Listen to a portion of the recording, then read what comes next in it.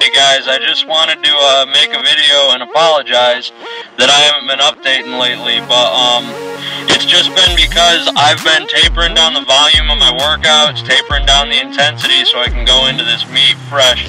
Uh, it's gonna be this upcoming Saturday. I got a bunch of my friends coming out, got my family coming down, and I'm super excited for it. And I just wanted to talk about everybody everybody dreads that first meet. Uh, they're just terrified. Oh, I'm not strong enough yet. Uh, I'm not gonna place. I'm not gonna do well. But I I'm excited because I have a I have a chance at, do, at doing pretty well at this competition. But even if I didn't, I would go compete because ever since I uh, did my first powerlifting competition my freshman year of high school, they're the they're some of the most fun experiences you can have. And you're not you're not out there competing against one another. You're you're not out there looking at looking at a guy across from you and being like, "Man, I'm I'm going to beat him. I I am not friends with him. He is my enemy. He is my opponent." You're both lifters, and the only person you're competing against is yourself. Just go. I'm just gonna go out there, have fun, I'm super excited, and that's what a new lifter has to do as well. Just get pumped up and and think about don't think about it as you're competing against all these other people and you're you're going to be struggling out there in front of a crowd of hundreds of people.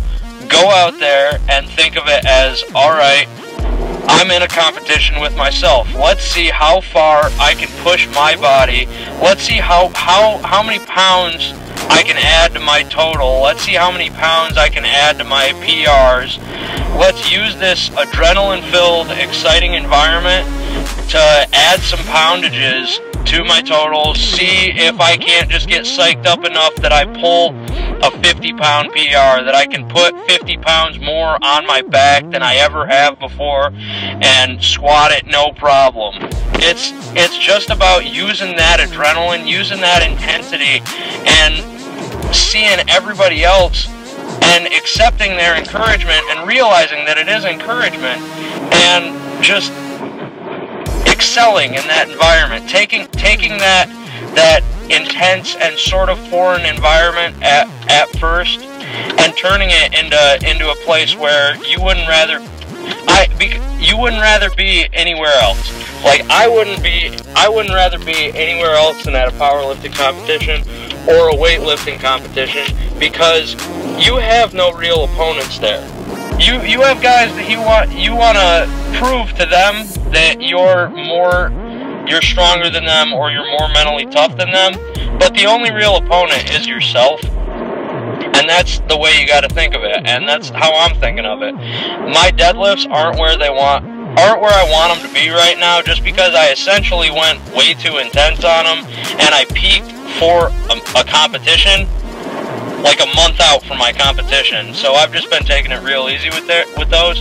But I'm gonna be content no matter what. I'm I'm hoping for some PRs this meet, but if it doesn't happen, it's a learning experience. It's just it's just more experience that I can add on to my uh, lifting resume, and I can take it, learn from it, and excel in the future because of it. And that's what. Uh, lifters need to realize. That's what you guys, as inexperienced lifters, and that's what even experienced lifters need to realize sometimes too. Because some guys uh, out like just psych themselves out of it and put so much pressure on. Oh man, I had a bad day in the gym. Uh, I, I, I don't think I'm going to do well at this meet. I, I had this bad day, and then the uh, the other day I ate something bad, so I my stomach was upset going into the gym, and then that was a bad day too. So oh shit, I don't know what I'm going to do. But you just got to take it easy. I'm calm right now. I'm happy. I'm there's there's stress in my life. There's struggles in my life. There's struggles in my family's lives, but they're going to be down here.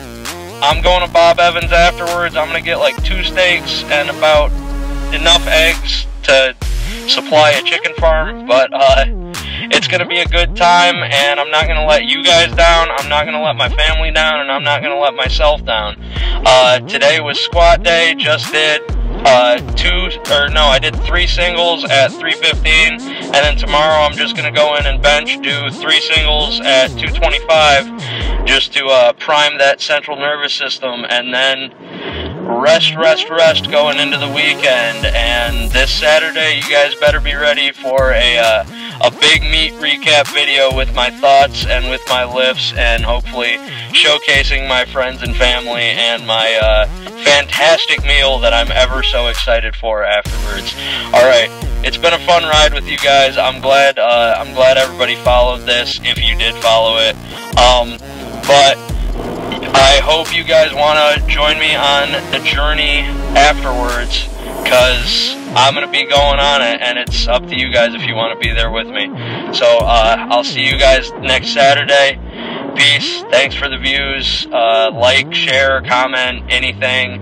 If you have video suggestions, put them up here.